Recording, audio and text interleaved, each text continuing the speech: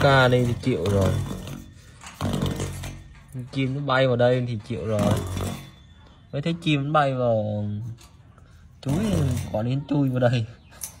Chui cái cây cột này chứ.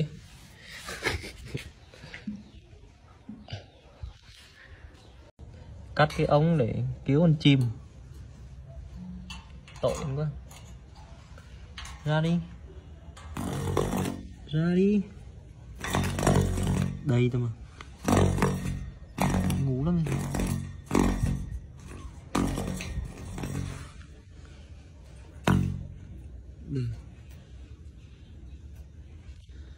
Chim.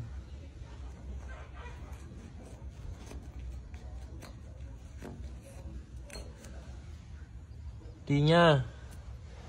Đi nha, lần sau đừng có chui đây nữa nha.